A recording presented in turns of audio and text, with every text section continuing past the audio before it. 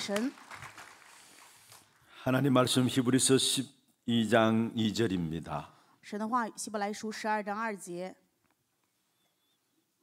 히브리서 12장 2절 한 절 말씀을 우리 같이 합독을 하도록 하겠습니다.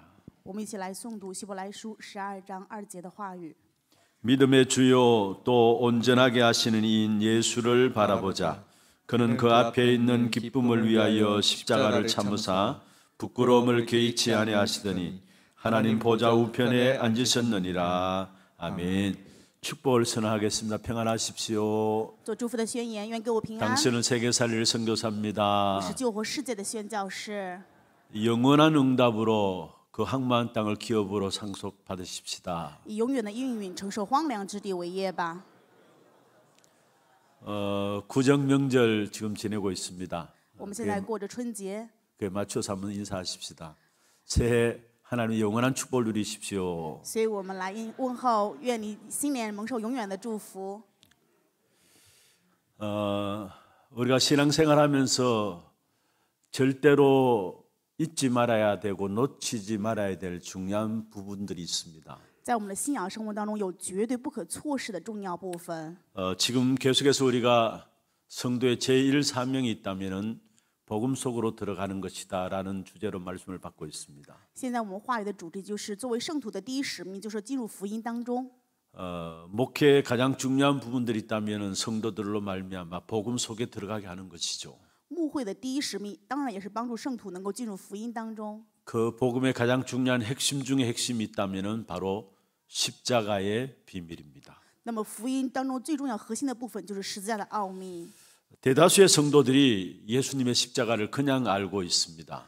大多数的圣徒都对耶稣的十字架只是随便的知道而已。 그래서 그 십자가 나의 복음이 안 되고 있는 것입니다. 正因如此，这个十字架的福音不能成为自己的， 십자가가 나에게 교리가 아니라, 아니라 생명이 되어야 되고요. 十字架不应该是教理，应该成为我的生命才可以。 인생의 답이 되기를 주의 이름으로 축원합니다. 有主的名祝愿十字架能够成为你们人生的答 그리고 오늘 案。 제목은 십자가는 하나님의 능력이다입니다. 所以今天的题目叫做“十字架是神的能力 우리 같이 한번 읽어보십시다. 십자가는 하나님의 능력이다. ”。我们一起来读一下：“十字架是神的能力。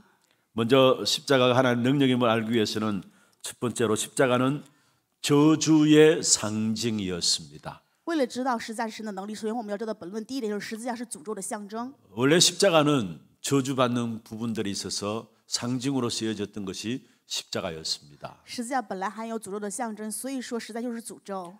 어, 로마가 전 세계를 정복하다 보니까 거기에 저항 세력들이 이- 일어나기 시작한 겁니다. 因为罗马征服全世界，所以这里面兴起了反对的势力。 우리가 일제 치하에 독립운동 군들이 일어났던 것처럼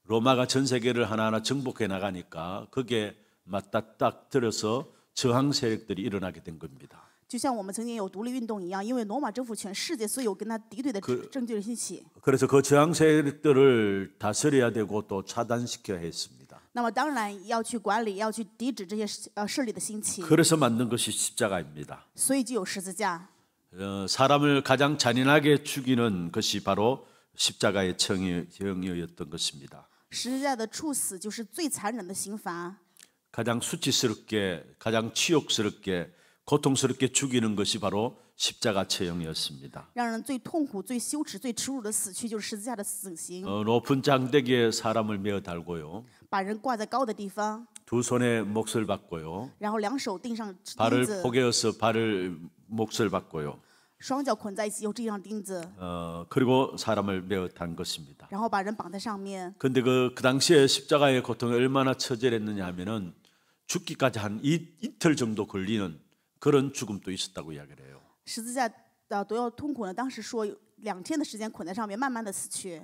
어, 실제로 어, 그 당시에 가장 저주의 에, 사형 틀이 바로 십자가 형틀이었습니다. 신명기 21장 23절에 이렇게 말씀하고 있습니다. 누구든지 나무에 달려 죽은 자는 저주를 받은 자다라고 이야기를 하고 있어요. 이미 모세 율법에 누구든지 남의, 어, 나무에 달려 죽은 자는 하나님께 저주를 받은 자다라고 명시를 하고 있습니다.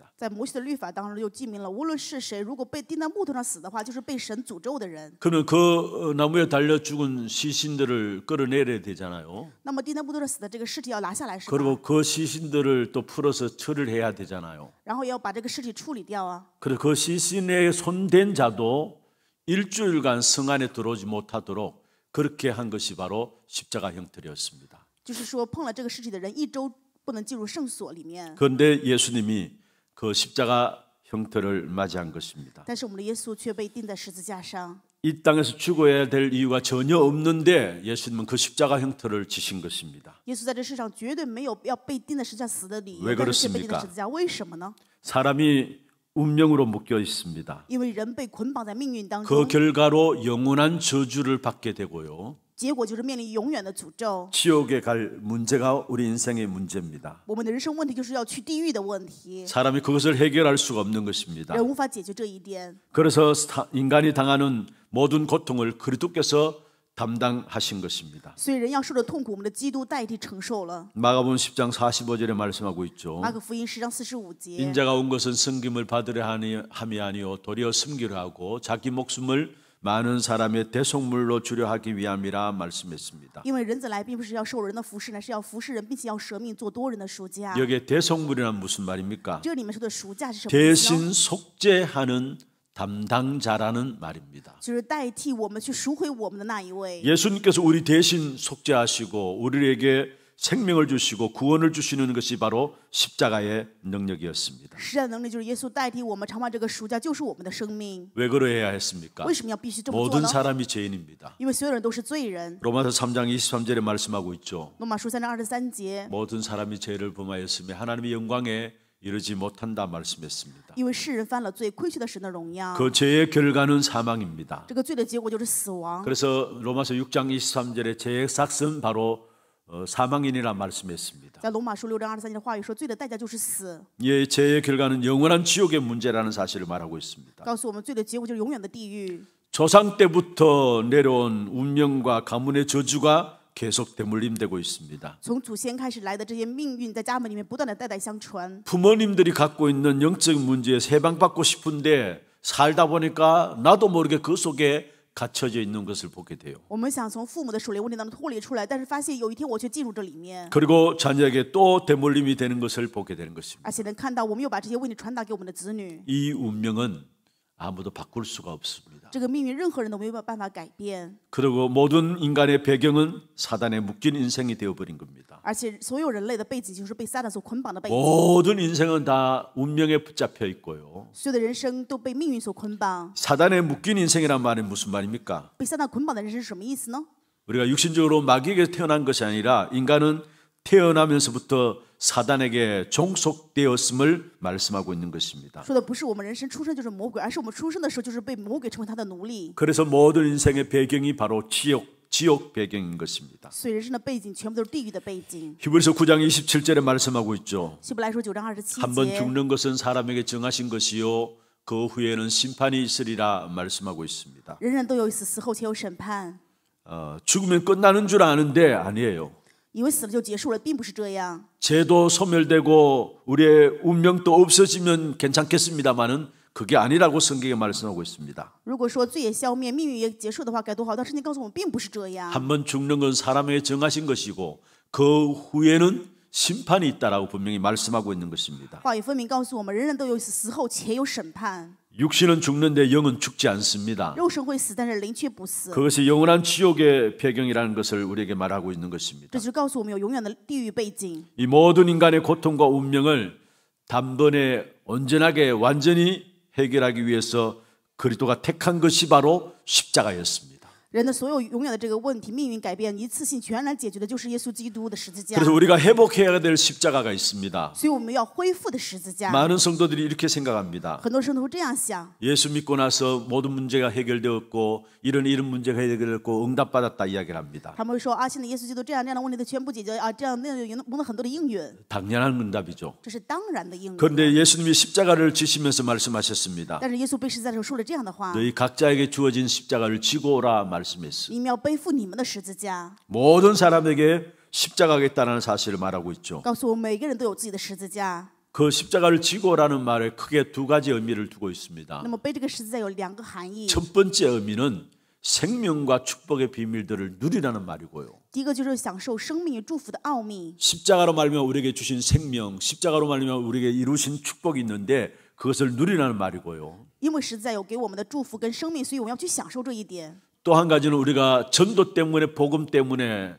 당하는 모든 어려움들은 그게 바로 우리에게 주어진 십자가라는 사실을 이야기하고 있습니다. 요셉이 애굽에 내려갔습니다. 노예 생활하고 감옥에 갇혔습니다. 그런데 이미 요셉에게는 세계 복음하는 언약이 있었습니다. 그래서 노예로 가는 그게 십자가였고 감옥에 가는 그게 십자가였습니다. 우리는 우리 자신들이 뭔가 잘못해서 십자가를 지고 있다고 생각하는데 그게 십자가 아니에요. 우리의 자신들이 잘못한 것은 우리가 하나님 앞에 회개하고 나가야 합니다. 우리 자신들이 잘못한 건 그때그때 갱신하는 것입니다. 그런데 복음 때문에 당하는 어려움들이 분명히 있습니다. 여러분 예수 믿는 이런 이유들 때문에 여러분 가정과 가문에서 직장 속에서 어려움을 당하는 문제들이 반드시 있습니다. 그게 바로 십자가라는 사실을 말씀하고 있습니다. 하나님께서 이스라엘 백성들을 선택하셨어요. 그리고 이스라엘 백성들이 복음을 주셨죠. 그 복음을 누리고 전하라고 이스라엘 백성들을 먼저 선택하신 것입니다. 근데 이스라엘 백성들은 그 복음의 역사를 가지고 자기들만을 위한 복음으로 생각하고 누렸어요. 但是以色列百姓拿着这个福音，只是自己的可以享受的福音， 자기들만 구원받는다고 생각했습니다. 认为唯有自己才能够得救， 이게 바로 선민 사상인 这就 것이죠. 是选民思想。 어, 그 후에 초대교회가 복음을 받게 됩니다. 之后呢，初代教会蒙受了福音， 자기들이 예수 믿으면 죽는 줄 알면서도 언약 붙잡고 그들은 기도하게 되었어요. 他们知道信耶稣即使会死，也是持着应许祷告。 그 자리가 하나님이 가장 원하시는 성령의 역사가 임하는 자리가 되었던 것입니다. 그게 사도행전 2장의 마가다락방에 기중한 성령의 오순절의 임하심이죠. 그 이후로 나가는 모든 초대교회 성도들 걸음걸음 앞에 엄청난 박해와 핍박들이 있었던 것을 보게 됩니다. 그 핍박과 어려움들이 바로 복음 가진 초대교회는 십자가였습니다. 这些逼迫、迫害与困难，就是初代教会的十字架。 나에게 어려움이 없는데 그게 복음 때문이라면 전도 때문이라면 그게 바로 우리에게 주어진 십자가라는 사실을 말씀하고 있는 것입니다. 话也告诉我们，如果说我因为福音传道来了这些困难，这就是十字架。 다니엘이 죽는 줄 알고도 하나님 앞에 기도함으로 나갔습니다. 但以理即使知道死，也以祷告来到神的面前。 다니엘 6장 10절에 말씀하고 있죠. 但以理书六章十节， 조서의 의인이 지킨 줄 알고도 기도의 비밀을 선택한 것이 바로 다니엘입니다.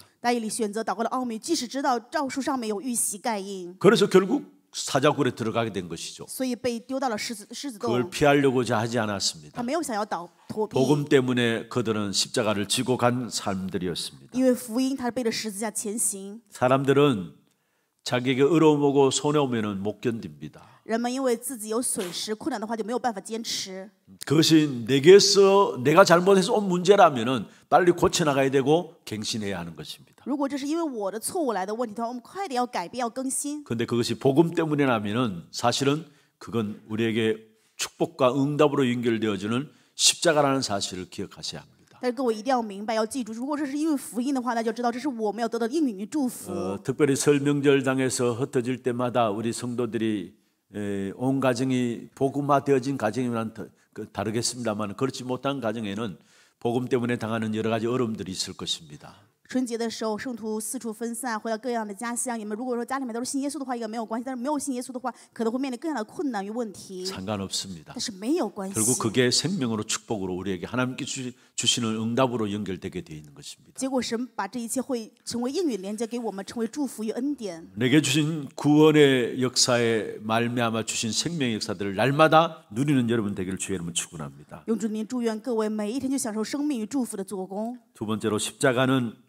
하나님의 능력입니다. 第二点，实在是神的能力。 바울이 고린도전서 1장 18절에 중요한 고백을 했습니다. 在哥林多前书一章十八节，保罗做了非常重要的告白。 십자가의 도 십자가의 도가 멸망받는 자들에게 미련하게 보이지만은 구원받는 우리에게는 하나님의 능력이 됨이라 말씀했습니다. 因为实在的道理，让灭亡的人为愚拙，在我们得罪人却为神的大能。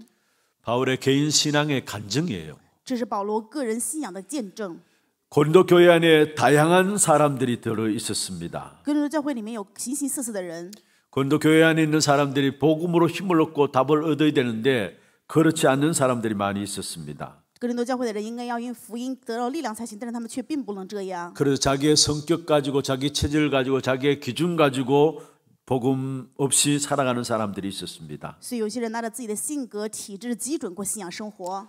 또 복음은 받아서 구원은 받았을지 모르지만은 어느 순간 자기들 모르게 율법과 종교주의에 빠졌던 것을 보게 됩니다.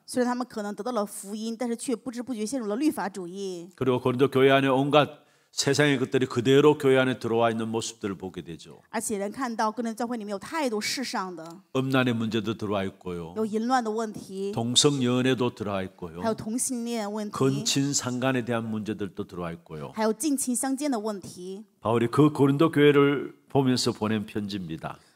保罗看到这样的哥林多教会写的书信， 어떤 면에서 하나님의 탄식과 바울의 탄식이 같이 들어있는 부분들입니다. 某一方面来说，这里面有神的叹息与保罗的叹 그게 息。 고린도전서 1장 18절이에요. 这就是哥林多教会前书一呃哥林多前书一章十八 십자가의 节。 도가 멸망받는 자들에게는 미련한 것이지만은 구원받는 우리에게는 하나님의 능력이다. 实在的道理，在那灭亡的人看为愚拙，在我们得罪人却为神的大能。 특별히 십자가의 진정한 의미를 잃어버린 고린도 교회를 향해서 바울이 탄식하면서 이야기했던 부분들입니다. 바울도 바리새인들과 똑같이 나무에 달아 죽은 달려 죽은 예수를 저주받은 자라고 생각했었습니다.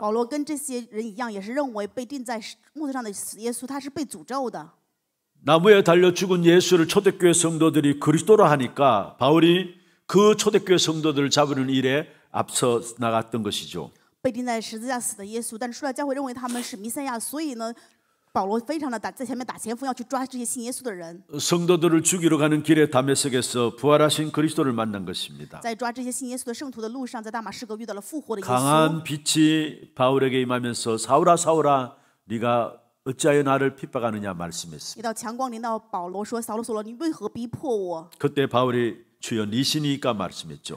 保罗当时说：“啊，主啊，你是谁 예수님께서 말씀했습니다. 네가 핍박하는 예수다 耶 말씀했습니다. 稣说：“我就是你逼迫的耶稣。 그때 바울은 알게 되었습니다. ”保罗这个时候明白了， 그리스도를 몰랐던 바울은 십자가는 저주라고 생각했는데 십자가는 하나님의 능력임을 알았던 것입니다.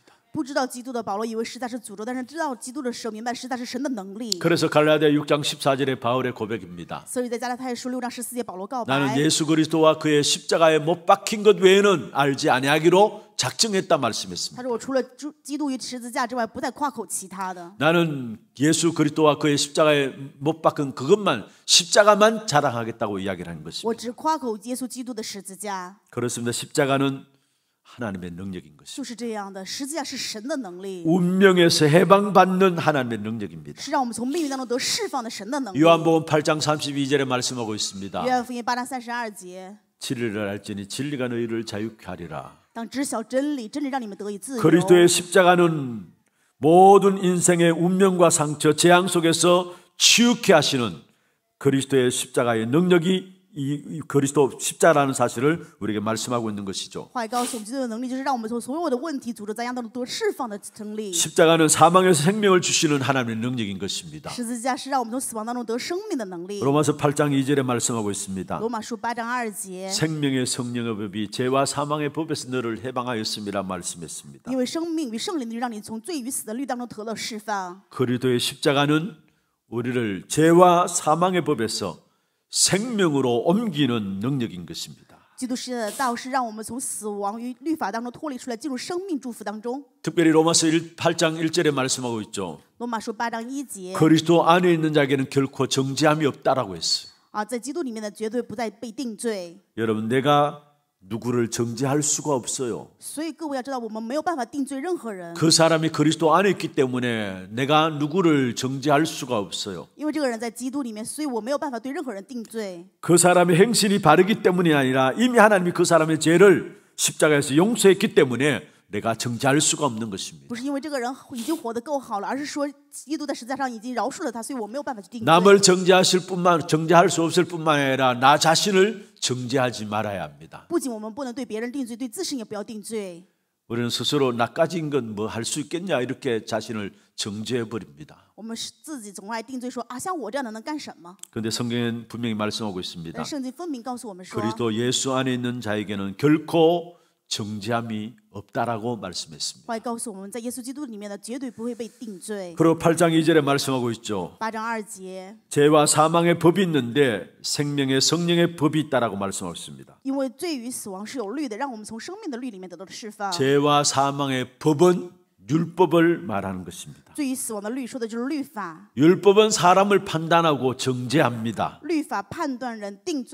그 율법에서는 결국은 멸망에 이르게 되는 것입니다. 结果律法里面就是死， 그런데 생명의 성령의 법이 있다고 말씀했습니다. 但是这里面说有生命与圣灵的律。 이 생명의 성령의 법은 무엇을 말할까요? 生命与圣灵的律说的是什么呢？ 예수 그리스도가 십자가의 죽으심으로 완성하신 법이 생명의 성령의 법인 것입니다. 生圣灵与生命的律说的是耶稣基督在十字架已经完成的这个律。 나는 율법으로 따지면 하나님께 나갈 수 있는 자격이 없지만요. 按照律法来说，我当然没有资格来到神的面前。 하나님이 십자가의 예수 그리스도의 능력으로 사망에서 생명을 우리에게 주신 것입니다.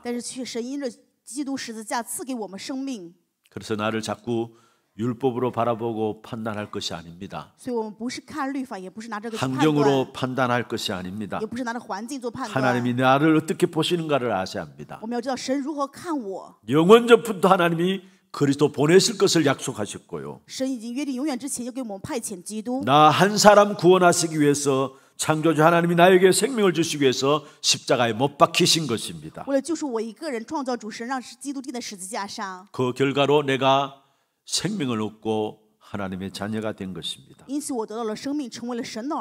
내 기준이 아니라 인간의 기준이 아니라 복음의 기준으로 나를 보고 사람을 보시기를 바랍니다. 愿各位不要以自我的基准、人的基准，而是要以福音的基准来看我。 십자가의 능력은 과거의 문제를 해결하는 능력- 능력입니다. 实践能力是解决过去问题的能力， 그래서 영적인 사망에 묶인 우리에게 새 생명을 능력을 주신 것입니다. 所以属灵里面死面死的我们，已经赐给了我们新的生命。 에베소 2장 1절에 말씀하고 있죠. 弗所书二章一节， 죄와 허물로 죽었던 너희를 살리셨도다. 救活了死在过犯与罪恶当中的你们。 영적 사망에 묶인 우리에게 새 생명의 능력을 주신 것이 바로 십자가의 능력인 것입니다. 그리고 현재 문제를 해결하는 능력이 바로 십자가의 능력입니다. 에베소 2장 2절에 나옵니다. 우리는 세상 풍속을 따르는 자들이었습니다. 그래서 공중 권세 잡은 자, 곧 불순종의 아들들 가운데 역사하는 영의 인도를 받던 자였습니다. 그런데 하나님께서 우리에게 십자의 능력으로 말미암아 하나님의 자녀 되게 하시고 생명을 주신 것입니다. 그리고 십자의 능력은 우리의 미래 문제를 해결하는 능력입니다. 에베소 2장 3절 우리는 본질상 진노의 자녀였다 했습니다. 그래서 해방받는 그리스도의 십자가의 능력을 우리에게 주신 것입니다. 죄와 허물로 죽었던 우리를 생명 가운데 있게 하시고요. 우리의 과거와 현재와 미래 모든 문제를 그리스도의 십자가의 능력으로 해결하신 것입니다.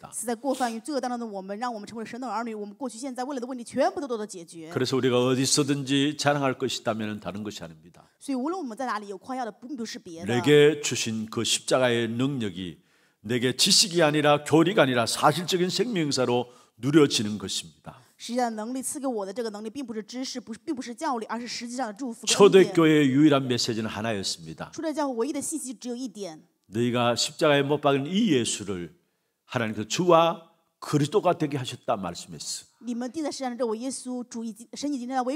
십자가의 그리스도를 증거하게 됨으로 말미암아 모든 현장이 변화되어지는 응답이 일어나게 된 것입니다. 말씀을 마무리하겠습니다.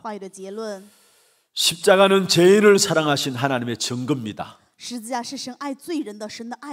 십자가는 죄인을 사랑하신 하나님의 은혜를 보여주고 있습니다. 요한복음 3장 16절에 말씀하고 있죠. 하나님이 세상을 이처럼 사랑하사 독생자를 주셨다 말씀했습니다. 이는 저를 믿는 자마다 멸망치 않고 영생을 얻게 하기 위함이라 말씀했습니다.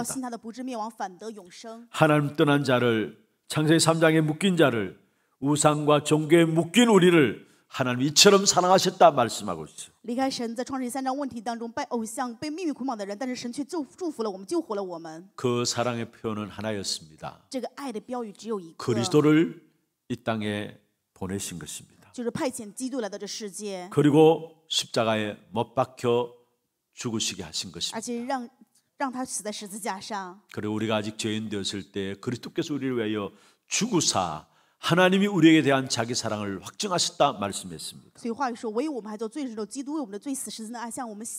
그리스도를 보내셔서 십자가에 못 박게 하심으로 말미암아 하나님이 우리에 대한 자기 사랑을 확증하셨다 말씀하고 있습니다. 예수님께 그 십자가에 못 박히면서 하신 말씀입니다. 내가 다 이루었다 말씀했어요. 모든 사망과 저주를 다 끝내셨다고 말씀하신 것입니다.